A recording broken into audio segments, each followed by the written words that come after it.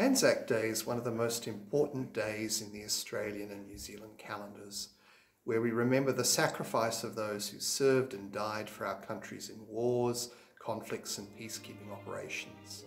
It means my uncles, my great uncles who served here in Europe in the First and the Second World War. It means the New Zealand peacekeepers who are serving today um, in South Sudan, in the Middle East, and who've served quite recently in the Pacific, much closer to home. Anzac Day to me is about sacrifice. It's about bravery, it's about loyalty, it's about mateship. It's a time to recall those who have served their country and those who are currently serving, particularly overseas.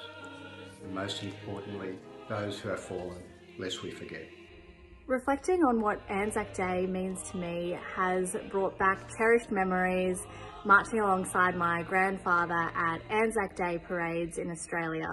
He served as a Red Beret paratrooper.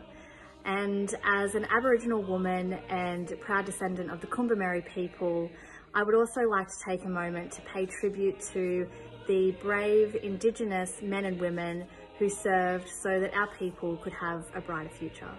It means those who are fighting a different kind of battle on the front lines, all the hospital uh, and primary care workers who are doing such extraordinary work in terms of COVID-19. We are hugely grateful and we thank all of you for your service. Kia kaha. As a dad, I've got great sympathy for anyone who lost their son or daughter in war. And to us, every day is, in a way, Anzac Day because in the morning we think of them, and at the end of the day we think of them. Lest we forget. Lest we forget. Lest we forget. Lest we forget. Lest we forget. We're standing apart, but together as one. Lest we forget. We will remember them.